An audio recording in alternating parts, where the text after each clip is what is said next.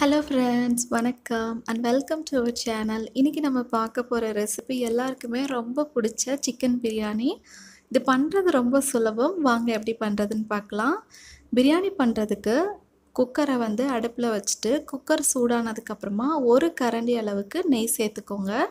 இதே கரண்டியில் மூணு கரண்டி அளவுக்கு சமையல் எண்ணெய் சேர்த்துக்கோங்க. இது வந்து நம்ம நார்மலாக எண்ணெய் ஊற்றுறதுக்கு யூஸ் பண்ணோம் இல்லையா? அந்த கரண்டி. சின்ன குட்டியாக இருக்கும்ல அது. இப்போது ரெண்டு பிரியாணி இலை ரெண்டு துண்டு பட்டை ரெண்டு கிராம்பு ரெண்டு ஏலக்காய் ஒரு லவங்கம் ஒரு நட்சத்திரப்பூ. இவ்வளோத்தையும் சேர்த்துட்டு இது கூடவே மூணு பச்சை மிளகாவை முழுசாக சேர்த்துக்கலாம். அதுக்கப்புறம் மூணு பெரிய வெங்காயத்தை நல்லா ஸ்லைஸ் ஸ்லைஸாக கட் பண்ணிவிட்டு இது கூட சேர்த்துக்கோங்க. வெங்காயத்தை இந்த மாதிரி கட் பண்ணுங்கள் அப்போ தான் நல்லாயிருக்கும் பிரியாணிக்கு. வெங்காயத்தோட நிறம்லாம் நல்லா மாறி இந்த மாதிரி வந்ததுக்கு அப்புறமா நம்ம இது கூட தக்காளி சேர்த்துக்கலாம். ரெண்டு தக்காளி பழம் நல்லா இந்த மாதிரி கட் பண்ணிவிட்டு உள்ளே சேர்த்துக்கலாம். தக்காளி சேர்த்ததும் உடனே வந்து இந்த பிரியாணிக்கு தேவையான அளவு உப்பு சேர்த்துக்கோங்க. இந்த தக்காளியும் வெங்காயமும் நல்லா ஒன்றோடு ஒன்று சேர்ந்து நல்லா குழையணும் தக்காளி தொக்கு அந்த ஸ்டேஜுக்கு வர வரைக்கும் நம்ம கிண்டிகிட்டே இருக்கணும். இந்த மாதிரி வந்ததுக்கப்புறமா இப்போ நம்ம இது கூட இஞ்சி பூண்டு பேஸ்ட்டு சேர்த்துக்கலாம்.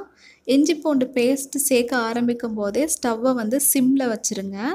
சிம்மில் வச்சுட்டு இதோட பச்சை வாசனைலாம் போகிற வரைக்கும் வதக்கிக்கலாம். ரொம்ப நேரம் தேவையில்லை. ஒரு நிமிஷமே போதும். இதோட பச்சை வாசனைலாம் போனதுக்கு அப்புறமா நம்ம இது கூட பிரியாணிக்கு தேவையான மசாலா சேர்த்துக்கலாம். ஒரு ஸ்பூன் அளவுக்கு மிளகா பொடி அதுக்கப்புறமா ஒரு ஸ்பூன் அளவுக்கு மல்லி பொடி அதாவது தனியா பொடி அரை ஸ்பூன் அளவுக்கு கரம் மசாலா பொடி சேர்த்துக்கோங்க. இவ்வளோ தான் நம்ம இதுக்கு சேர்க்குற மசாலா. இப்போது இந்த மசாலா வந்து நல்லா கரைஞ்சிராமல் இது கூட சேர்த்து நல்லா கிளறி விடுங்க. அடுப்பை சிம்லேயே வச்சுக்கோங்க. இப்போ வந்து புதினா கொத்தமல்லி சேர்த்துக்கலாம். ஒரு கைப்பிடி அளவுக்கு புதினா ஒரு கைப்பிடி அளவுக்கு கொத்தமல்லி சேர்த்துக்கோங்க. நல்லா வாசமாக இருக்கும். புதினா கொத்தமல்லி சேர்த்தா பிரியாணி ரொம்ப சூப்பராக இருக்கும். சேர்த்துட்டு இந்த இலைகள்லாம் நல்லா சுருங்குற அளவுக்கு வதக்கிக்கோங்க. இப்போது மூணு ஸ்பூன் அளவுக்கு தயிர் சேர்த்துக்கோங்க. நல்லா கெட்டியான தயிராக மூணு ஸ்பூன் அளவுக்கு சேர்த்துக்கோங்க. சேர்த்துட்டு இந்த தயிரை வந்து நல்லா நல்லா கிண்டி விட்டுக்கோங்க. நல்லா ஒன்றா சேர்கிற அளவுக்கு நல்லா கிண்டி விட்டுக்கலாம். இந்த மாதிரி ஒன்றா நல்லா கிண்டி விட்டதுக்கு அப்புறமா நம்ம வந்து இது கூட நம்ம க்ளீன் பண்ணி வச்சுருக்கோம் இல்லையா சிக்கன் நான் இன்றைக்கி அரை கிலோ அரிசிக்கு அரை கிலோ அளவுக்கு சிக்கனை நல்லா மஞ்சள் பொடி போட்டு நல்லா க்ளீன் பண்ணி வச்சுருக்கேன். சிக்கனை உள்ளே சேர்த்து நல்லா பரட்டி விடுங்க. சிக்கனை வந்து ரொம்ப நேரம் இது கூட வேக வைக்க வேண்டியதில்லை. ரொம்ப நேரம் நம்ம வேக வச்சிட்டோம் அப்படின்னா ஒரு மாதிரி ரப்பர் மாதிரி ஆயிரும். அதனால் ஜஸ்ட் அந்த மசாலாலாம் நல்லா ஒன்றோட ஒன்று சேர்கிற அளவுக்கு கிண்டுனா போதும்.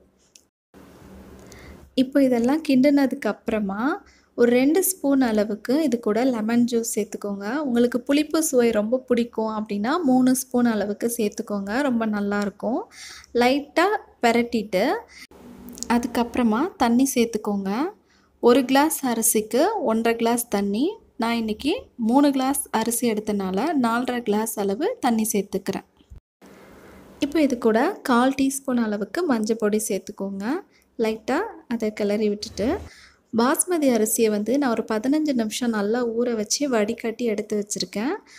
அரிசியை இப்போ இது உள்ள சேர்த்துக்கலாம். அரிசியை சேர்த்ததுக்கு அப்புறமா லைட்டாக மெதுவாக ரெண்டு கிளறு கிளறி விடுங்க. ரொம்ப கிளறிடாதீங்க. ஏன்னா நம்ம வந்து சாதம் ரெடி ஆனதுக்கப்புறமா சிக்கன் கீழே தனியாகவும் அரிசி சாதம் வந்து மேலேயும் இருக்கும். அதனால லைட்டாக கிளறி விட்டுக்கோங்க. இப்போ குக்கரை வந்து மூடி போட்டுடலாம். விசில் வச்சுட்டு ஒரு விசில் மட்டும் போதும். ஒரு விசில் வந்ததுக்கப்புறமா பதினஞ்சு நிமிஷம் அப்படியே விட்டுருங்க. அதுக்கப்புறமா நம்ம குக்கரை வந்து ஓப்பன் பண்ணால் சூப்பராக இருக்கும். அதுக்கு முன்னாடி ஓப்பன் பண்ணிடாதீங்க. பாருங்கள் எவ்வளவு சூப்பராக இருக்குன்ட்டு. நான் இதுக்கு முன்னாடி வந்து தேங்காய் பால் சாதம் எப்படி பண்ணுறது குக்கரில் அப்படின்னு சொல்லிட்டு வீடியோ போட்டிருந்தேன். அதில் வந்து நம்ம அரிசியை வந்து எவ்வளோ நேரம் ஊற வச்சா எவ்வளோ தண்ணி ஊற்றணும் அப்படிங்கிற அந்த டீட்டெயிலை வந்து நான் சொல்லியிருக்கேன். நான் டிஸ்கிரிப்ஷனில் லிங்க் கொடுக்குறேன். வேணும்னா செக் பண்ணி பார்த்துக்கோங்க. அவ்வளோந்தான் குலையாமல் நல்ல உதிரி உதிரியாக சூப்பராக பிரியாணி ரெடி ஆகிடுச்சு நீங்களும் வீட்டில் ட்ரை பண்ணி பாருங்கள் கண்டிப்பாக இந்த வீடியோ உங்களுக்கு பிடிச்சிருக்கோன்னு நினைக்கிறேன். என்னோட சேனலை இன்னும் நீங்கள் சப்ஸ்கிரைப் பண்ணல அப்படின்னா மறக்காமல் சப்ஸ்கிரைப் பண்ணுங்கள் பக்கத்தில் இருக்க பெல் பட்டனையும் கிளிக் பண்ணிக்கோங்க. இவ்வளோ நேரம் இந்த வீடியோவை பொறுமையாக பார்த்ததுக்கு நன்றி.